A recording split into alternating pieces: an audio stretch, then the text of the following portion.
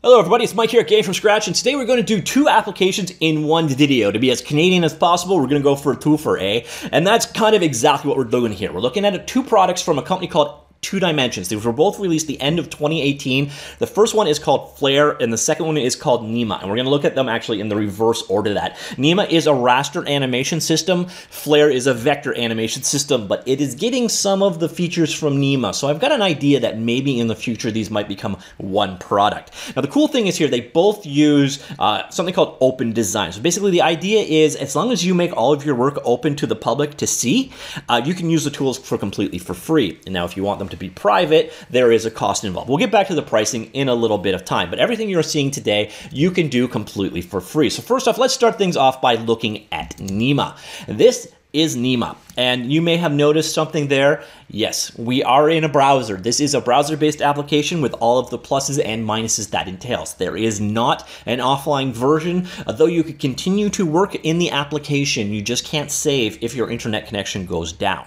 So do be aware of that. I know that it's definitely going to turn some people off. Now, if you're familiar at all with any of the cutout animation tools out there, things like um, Spine, Spriter, uh, Dragonbones, uh, Creature. This is a tool in those veins. This is all about doing raster-based animation. What you do is you come in and you create your model. So you see here, we're seeing all the various different pieces that go together to create this guy. Here are the assets that you use to create them. So, for example, if we needed a foot, you bring a foot into the scene and you create it as part of the hierarchy. Now, I don't need a foot because this model has already been created for me. And then here you can see the hierarchy of things. So we've got our root. Our root has a bone at the pelvis level.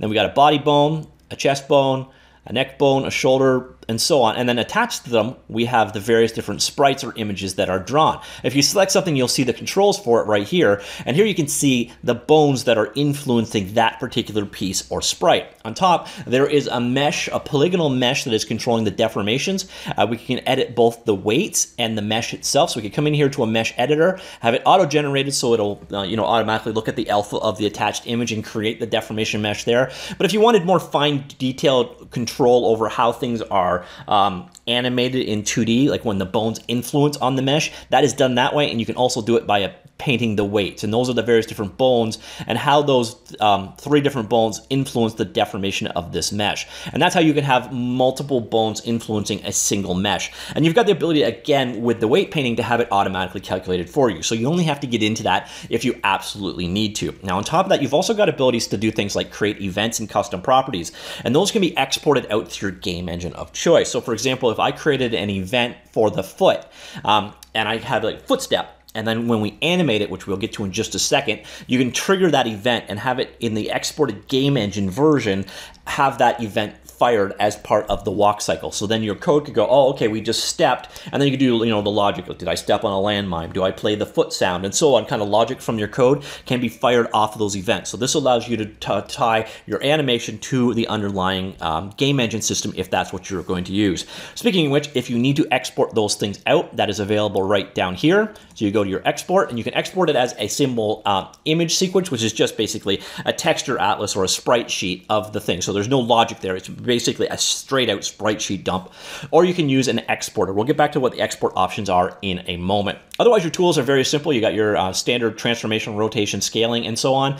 Um, we've got visibility toggle, so if I want to show the bones, I can. If I want to show only bones or outlines, I can. Um, or if I want to show nothing, theoretically, I guess I can. And we'll go back out of there. You've got control over how you uh, align things, world local parent. Uh, you've got control over do you have a grid, no grid. You've got uh, rulers if you so wish them. And that is about kind of the basics of it. And once you've got your, your um, your object the way you want, it's time to then start animating. So we switch over here to animation mode, and then what you'll see here is we have a single animation called flight that has been defined. If we want to create another animation sequence, we just go ahead and create a new one. And what you've done is over time, you're basically creating keyframes of each different bone. So you basically move your bones around, and here I'll go ahead and play it, and you'll see there is your end generated uh, animation as a result pretty straightforward, pretty easy to work with. And once again, if you've used something like Spine or Spriter, um, you know, creature and so on. This is in the same vein. It does a lot of the same stuff. Um, so that is Nima, and this the entire idea behind Nima is it's raster based. So all of your source images, what you see right here, all of these guys are are, are rasters, things like PNGs or GIFs or, or so on. Whereas in Nima, which oh, sorry, Flare, Flare is more raster, uh, it's more vector based. Flare is more similar to, um, it reminds me of Expressions Blends greatly, uh, but um, Adobe Flash or um, uh, trying to think of the other thing, um, it's not coming to me right now, but it's more of a traditional 2D vector-based animation system. I'll go ahead and create a new flare. So as you see, as long as I make it in the public, we're good to go. If I'm private, then I need to sign up for a plan. And you can, you can choose if you allow people to fork or not. And if you're going to allow them to fork, you can choose which license they can fork your work under. Now, you don't have to allow them to fork. You can allow them to see your work, but not be able to do anything with it and still be under the free license. So go ahead, create a new system. And this is kind of the same deal. Now, what's interesting is Flare has got the ability to add raster elements. So now it can do a lot of what Nima can do for creating those hierarchies. We'll see that in just a second.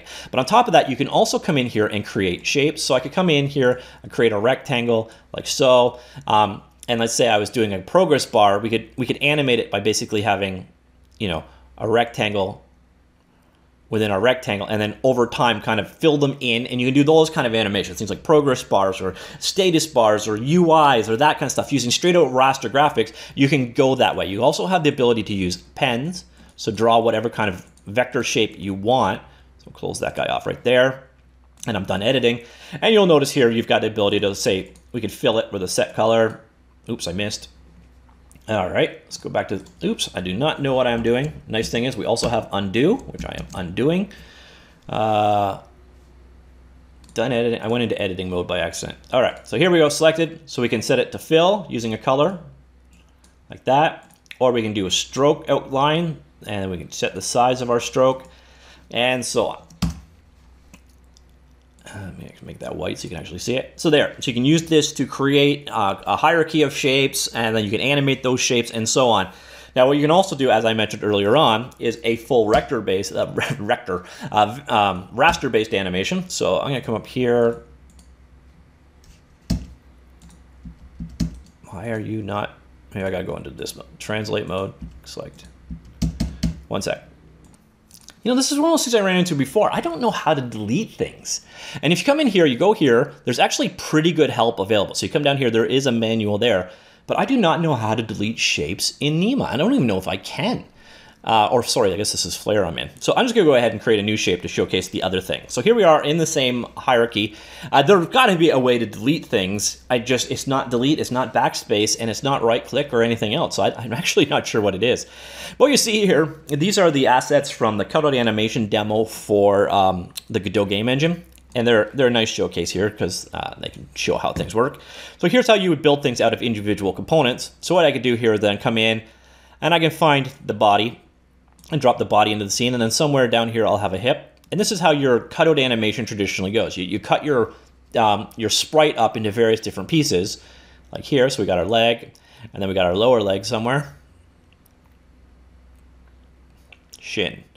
All right, we're dealing with the right side here. So we'll bring that guy in. And then we have the foot somewhere, which is right there. So there, that is how you create. And we've just created part of our animation, obviously. I'm not going to go into a great deal of detail because it just gets really boring to watch me. Now, what you're not going to want is what I just did. So these are not uh, a hierarchy, and I actually want them as a hierarchy. So what we're going to do is put the hip under the body. We're going to put the leg under the hip. We're going to put the shin under the leg. And then we will put the foot under the shin. All right, so now we have the hierarchy we want. So if I grab this guy and move it around, everything goes with it, which is probably what you want. And now what we're gonna do is come back here to our tools right here, and we are going to create a bone. So this is the uh, body bone. Quite often what you do is put a bone right here in the, the middle of the pelvis area, and then you control the various pieces out from it. What I'm gonna do that is a bit in reverse. So I'm gonna create a hierarchy of bones like that. All right, we're good. All right. So there is our bone tree. Now what I'm going to do is going back over here, so I'm going to select, oops, I'm still in the bone tool. Undo that, uh, go back into translate mode. I'm going to go ahead and select uh, the body here, and you'll notice there is a connected bones option. Now this kind of comes into the same thing where you can have multiple bones influencing things, we can uh, measure the weight on it. I'm not going to get into those details. What I'm just going to do is set up each bone in the hierarchy. I did it as a very simple one-to-one -one relationship.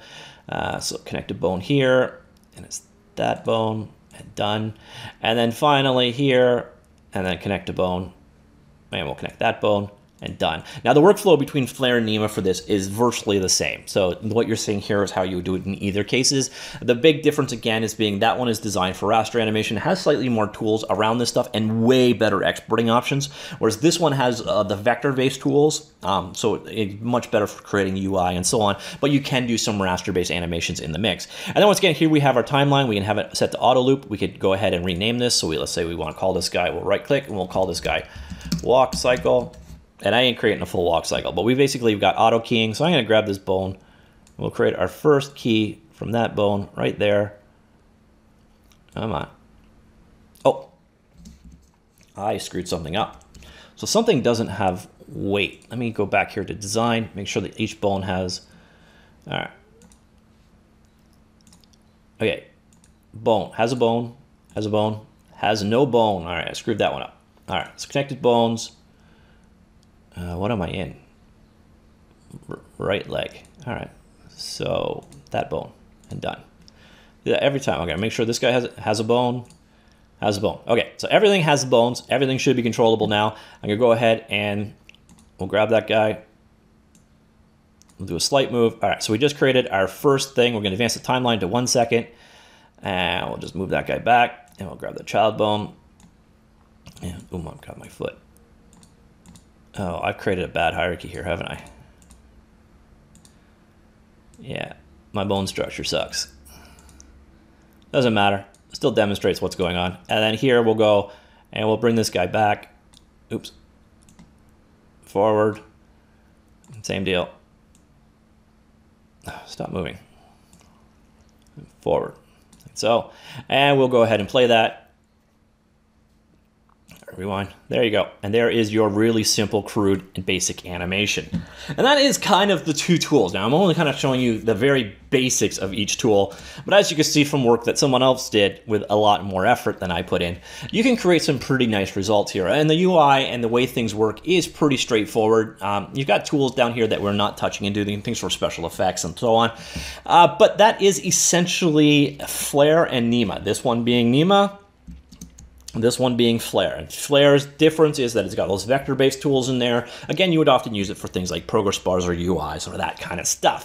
So let us get into those runtimes I was talking about here. These are the ways that you can export out from Flare and Nima and get full functionality. So this is where you'll get the events and properties and parenting and all that stuff. And this is like a data structure you export out, and these are the tools you will use for the end result for running it and getting full integration. So these are kind of plugins for various different systems. For Flare, there you have support for Flutter, JS, Framer, Swift, and React.